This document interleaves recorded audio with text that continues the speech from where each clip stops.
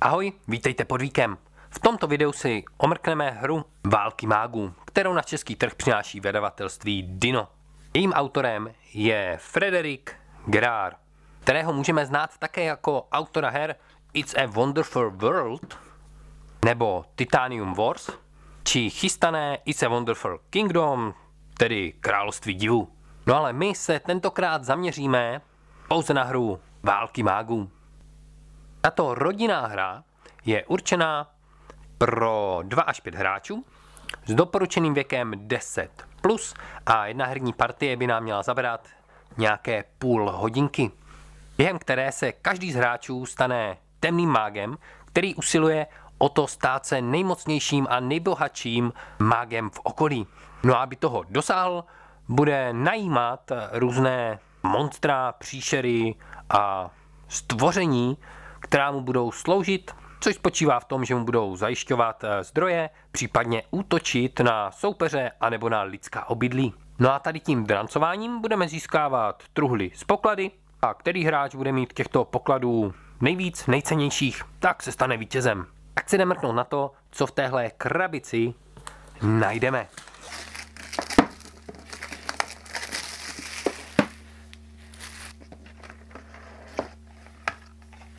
První, co tu nás čeká, jsou pravidla, která tu máme ve dvou jazykových verzích, česká a slovenská. Pravidla jsou kratoučká, přece jenom je to jednoduchá rodinná hra, což znamená, že máme takhle čtyři stránečky plné ilustrací, což je kompletně celá pravidlová brožura, takže opravdu naučení se bude jedna, dvě. No a jdeme na karton. Toho tu máme jedno platíčko, kde najdeme štíty,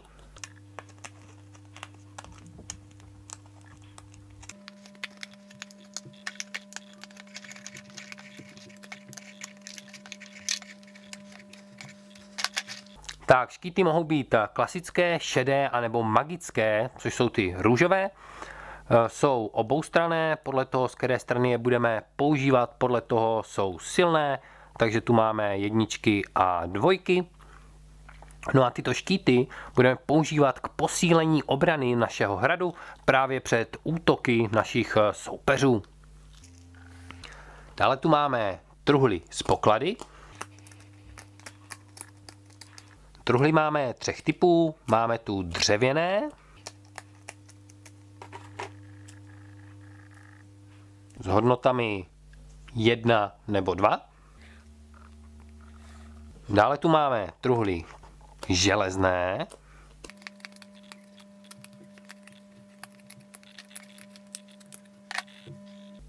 které mají hodnoty 2 a 3, takže o něco cenější. No a nakonec i truhly zlaté,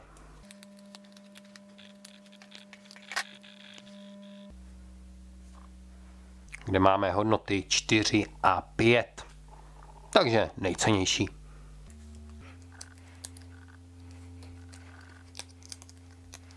Truhly budeme získávat eh, za hm, poražení, hm, přemožení lidských obydlí, případně můžeme brát soupeřům, když je porazíme v boji,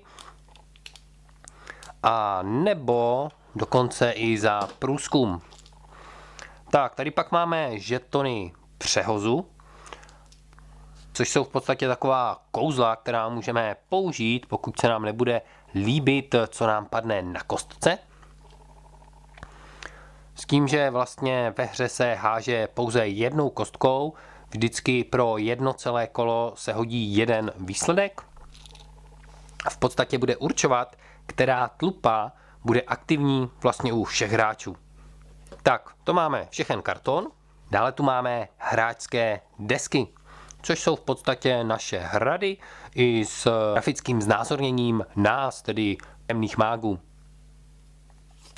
Tak těchto desek tu máme pět, právě eh, až pro pět hráčů, takže každý hráč získá jednu tady z těch eh, desek, kde máme hrad, jeho základní obranu, kterou právě můžeme posilovat žetony štítu a v podstatě nějakou základní tlupu, spíš šest tlup, protože tlupa je vždycky jednotlivý řádek.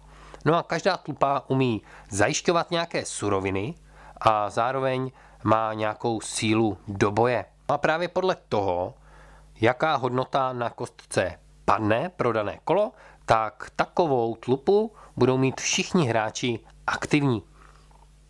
Tak když se na to podíváme, tak vlastně jednotlivé hrady jsou lehce asymetrické, což znamená, že v podstatě jednotlivé tlupy jsou tované jinak a na jedničkových hodnotách, na dvojkových a na dalších mají různé hodnoty, jak pro získávání surovin, tak právě pro boj.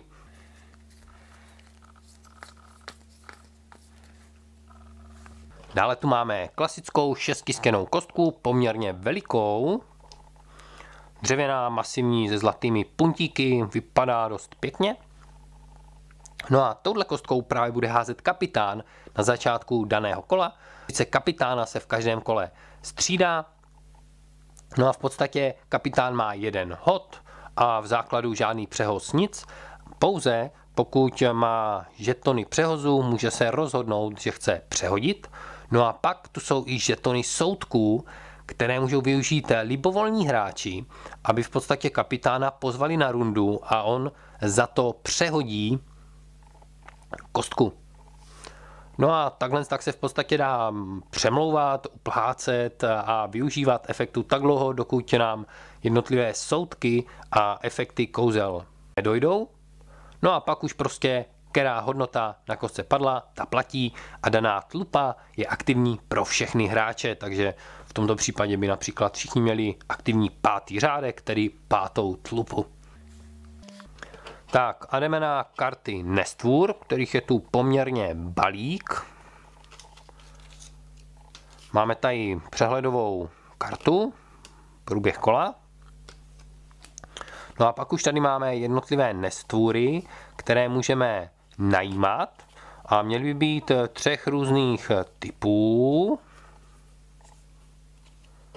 Tak, když takhle rozdělíme, tak nejdříve mrkneme na tady tyhle ty gobliny. Máme tu 10 goblinů, kteří mají nějaké základní hodnoty, buď to sběr surovin, anebo nějakou bojovou sílu. Jednotliví goblini jsou různí, mají různé hodnoty na různých místech. No a v podstatě to jsou nestvůry, které získáme hnedka do začátku hry. Náhodně každému hráči rozdáme dva gobliny a ten hráč, který je získá, tak si v podstatě bude moct vybrat, jakým způsobem je chce použít, neboli jak je zapojí do svého hradu. Každé monstrum, které takto získáme, ať už to bude goblin nebo další monstra, která si najmeme během hry, tak v podstatě zasuneme pod hrad, tak aby nám jenom zvětšili hodnoty některých tlup. No a my si můžeme vybrat u každého monstra, které najmeme, zda ho dáme na sběr surovin, anebo na bojovou sílu. Na začátku hry získáme dva gobliny a v podstatě nejsme vázáni, že bychom museli dát jednoho goblina na jednu stranu a druhého na druhou. Můžeme je umístit klidně oba dva k surovinám, nebo oba dva do boje, no a nebo je můžeme dát jednoho tam a jednoho tam.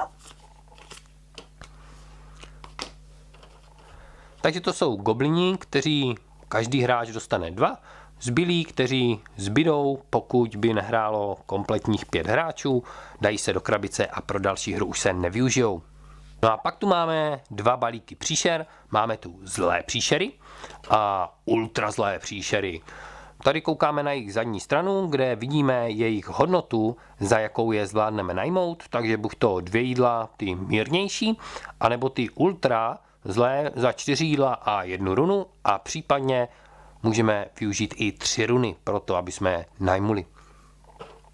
Tak se jdeme mrknout, jaké monstra tu na nás čekají, eh, které nás posílí. Monstrum může mít v rohu takhle tak ještě nějaký bonus, kterým v podstatě posílí náš hrad a to znamená, že díky němu získáme v tomto případě, případně například kouzlo přehozu, eh, tady naopak posílení hradu, což znamená, že my danové monstrum zase klasicky zasuneme pod hrad, ale vezmeme si daný žeton a umístíme ho na hrad. Tak, co tady máme za různé symboly? Máme tu například eh, sběr surovin, což znamená jídla. Případně tady máme symboly pro průzkum, protože v každém kole se vyhodnotí, kdo má největší průzkum a takový hráč v podstatě rovnou dostane jednu železnou truhlu s pokladem. V případě, že by byla remíza v rámci průzkumu, tak tito hráči dostanou po jedné dřevěné truhle. Tak, následně tu máme na straně útoku buď to růžové meče, což jsou magické, a takový magický meč se dá bránit pouze magickým štítem, a nebo klasické meče, které nejsou růžové, ale šedivé, ty vidíme tady.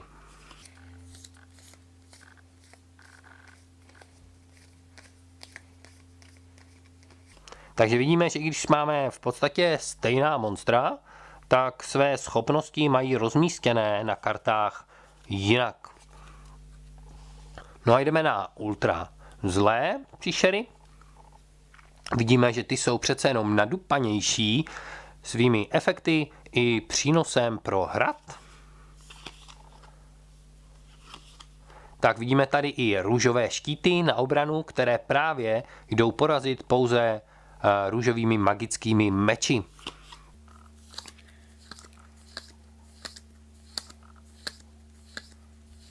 Tak, tady máme ještě škrabošky, což jsou v podstatě symboly pro zloděje.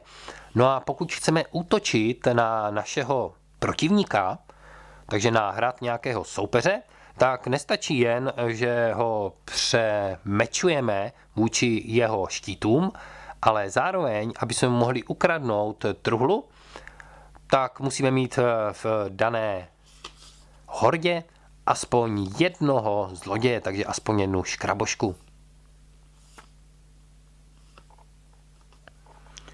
Tak, to máme všechny monstra. No a jdeme na karty osad. Což jsou v podstatě lidská obydlí, která můžeme napadat také. Máme tu jeden hostinec, který v nabídce bude vždycky.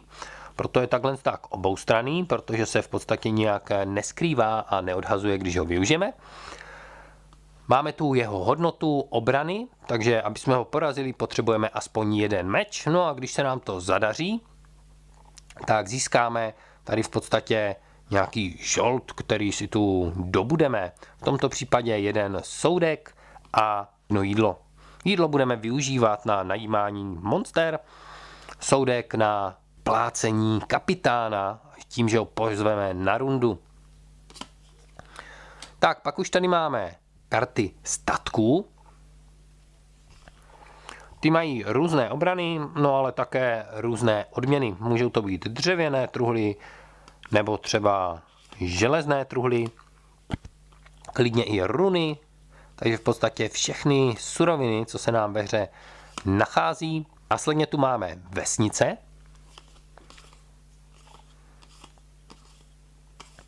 No a nakonec i nejsilnější města, které se dokážou také bránit i magicky. No a pokud eh, zvládneme vydrancovat město, tak nám přinese klidně i právě zlatou truhlu. Tak eh, tyhle ty karty osad, tak ve hře budou v závislosti na počtu hráčů. Znamená, čím méně hráčů, tím méně karet.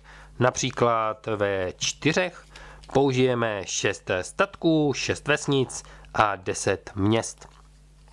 Jednotlivé balíky vždycky eh, zamícháme a dáme je postupně na hromádku, tak aby přicházely na řadu nejprve, nejprve statky, pak vesnice a nakonec města. Přece jenom i ve hře budeme oni své schopnosti nabírat postupně, tak aby nám přicházeli oni soupeři postupně. Tyhle ty eh, karty, pokud využijeme, pokud je vydrancujeme a přemůžeme, tak se odhazují a doplňují se do nabídky nové. Nabídka je tvořena vždycky kartou hostince plus eh, vyložených tolik karet z této hromádky, kolik je ve hře hráčů. No a pak tady máme ještě jeden takový tajemný papírový balíček, v kterém najdeme dřevěné žetony, dřevěné komponenty, surovin. Takže tu máme růžové runy, to, co vypadá jak eh, plíce, tak to jsou runy. Pak tady máme pěkně stehinko, což je jídlo a nakonec i soudky. Takže takovéhle pěkné dřevěné žetunky. No a když se vrátíme do krabice, zjistíme, že už nic moc dalšího tu nemáme, tedy až na pořadače, které budou sloužit i v rámci hry na dobírání jednotlivých typů zásob, eh, surovin, případně žetonů, štítů a přehozů. Tak jen teda inzerty jsou takové neúplně využívají celý prostor, což nám dokazuje, že krabice nemusela být až tak hluboká.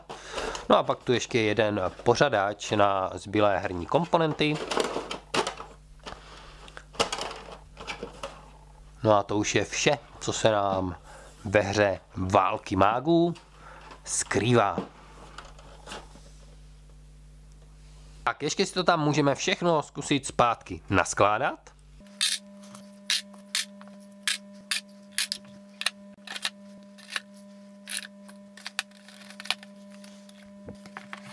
No a to už je pro tentokrát vše. Já se s vámi tímto loučím, mějte se krásně, hrajte hry, sledujte podvíkem a někdy příště u dalšího videa.